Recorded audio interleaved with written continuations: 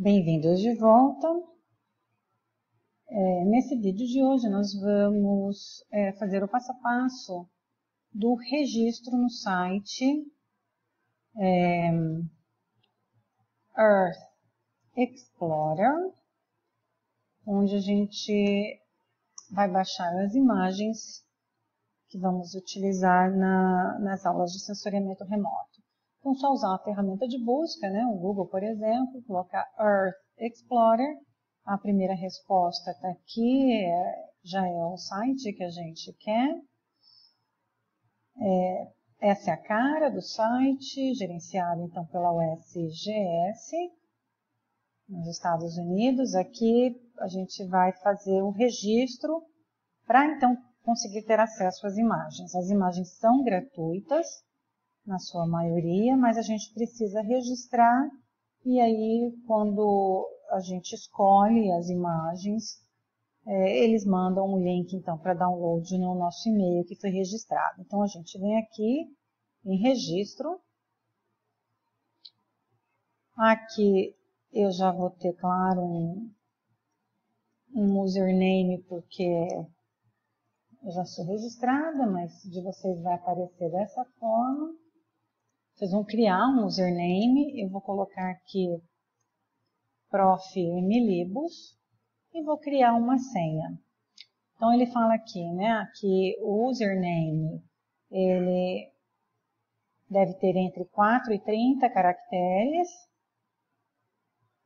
e tem que conter é, um, um caractere especial né? por exemplo, um ponto, a arroba, o underline ou o hífenzinho. Então, eu vou colocar aqui a arroba profemilibus arroba.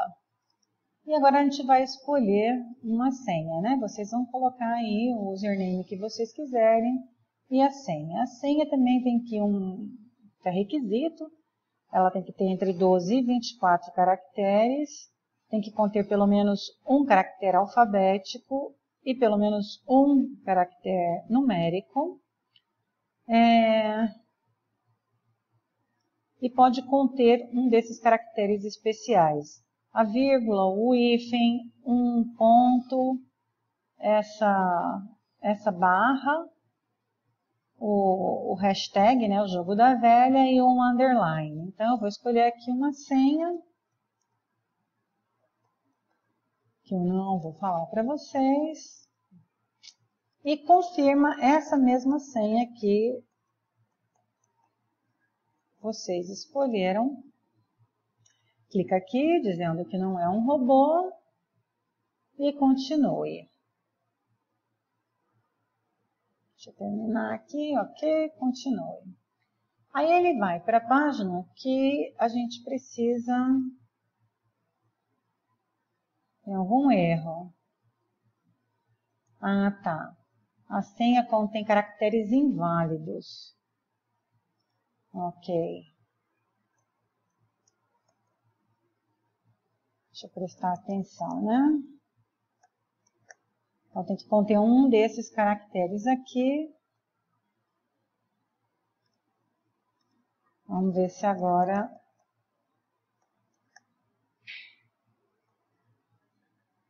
eu faço certo. De novo, não sou robô. E continue. Cruze os dedos. Ok. Então, aqui vai. Vamos lá. São as informações é, que a gente precisa preencher, demográficas. Em qual setor você trabalha? Então, aqui a gente tem algumas opções governo federal dos Estados Unidos, governo estadual de província, governo local dos Estados Unidos, grupo indígena, enfim, a gente vai colocar aqui uma instituição acadêmica. Pode ser uma organização é, não governamental, negócios privados, público em geral ou outros. Né? Então, a gente vai pôr uma instituição acadêmica que é onde a gente está Aqui está perguntando se a gente trabalha numa, na agência dos Estados Unidos. A gente mantém esse não. É...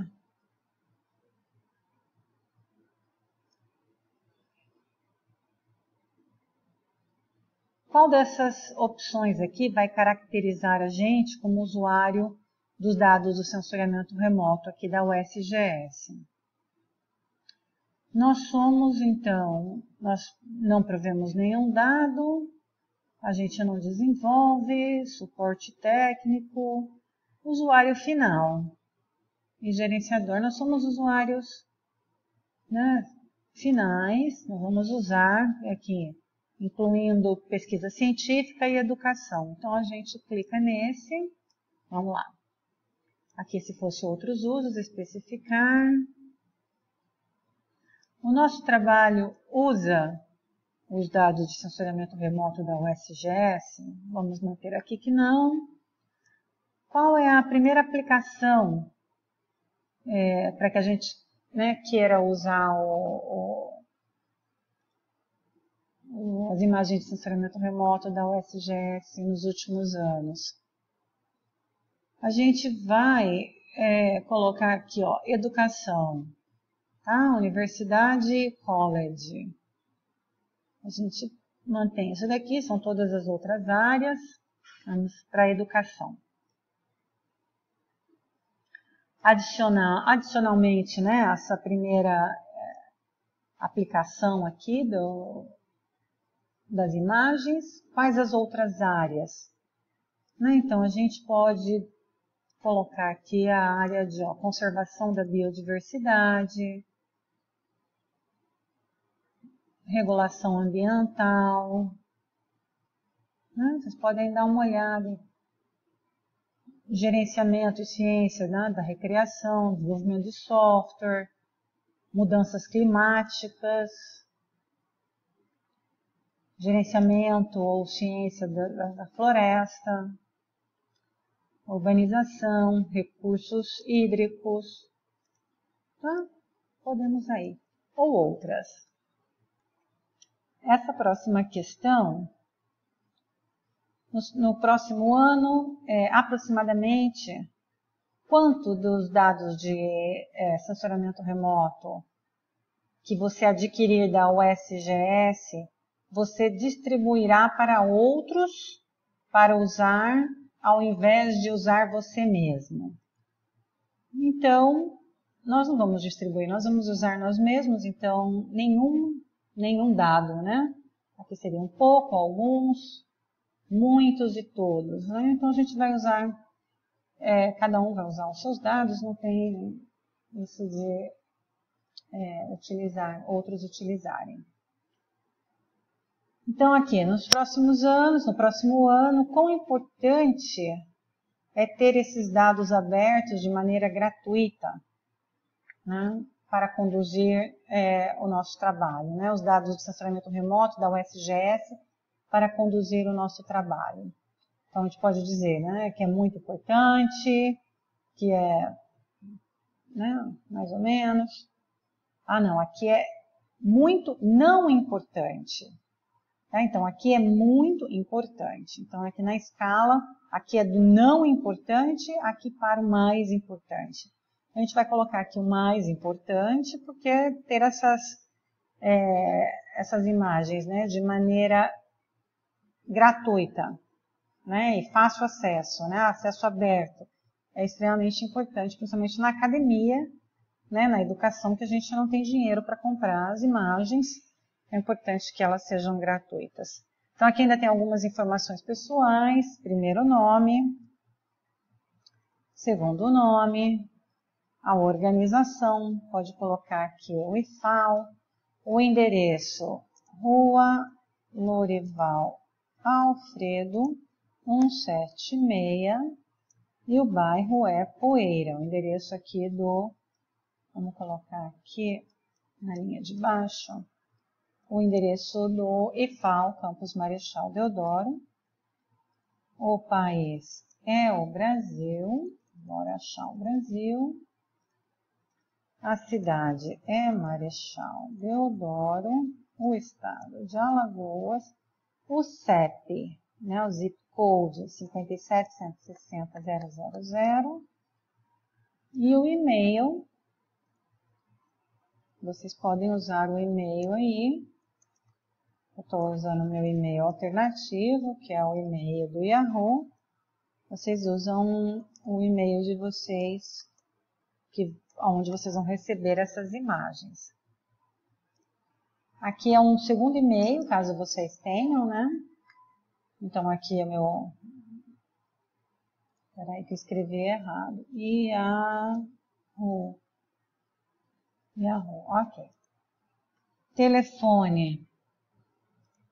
A gente também vai utilizar o telefone do IFAL, colocando o código do país, que é o 55, tem que colocar esse sinalzinho de mais na frente.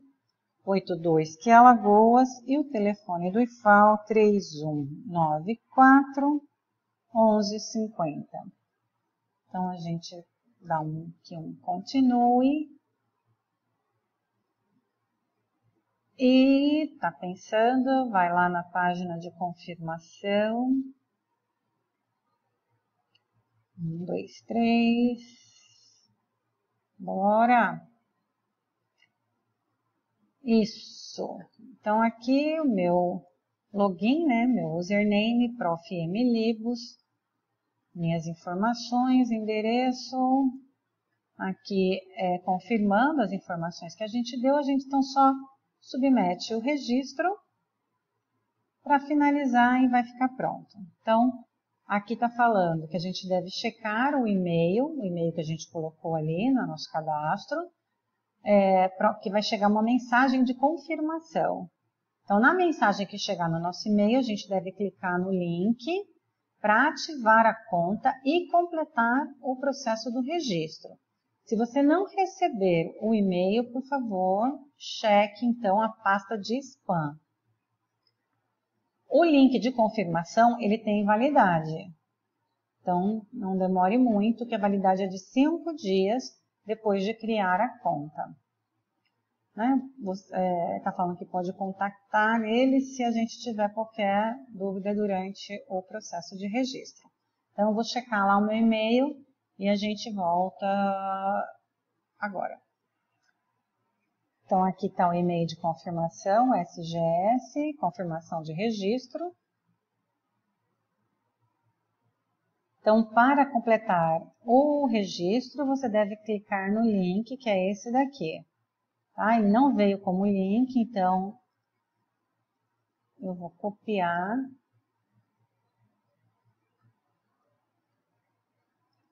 Eu vou copiar, abrir uma janela e clicar aqui para poder entrar no, na confirmação.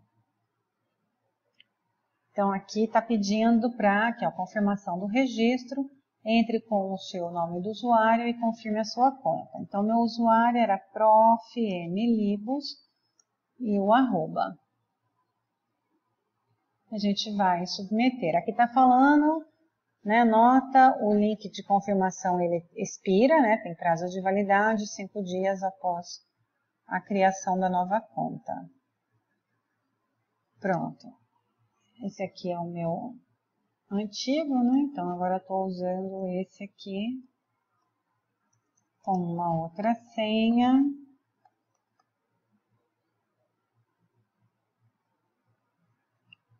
E vou entrar.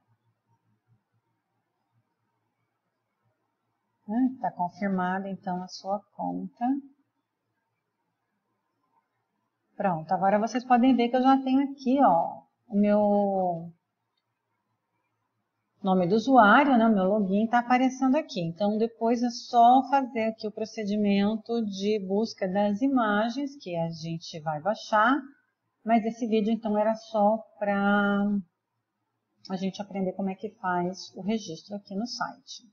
Tá? A gente, então, se vê no próximo vídeo. Beijo, tchau.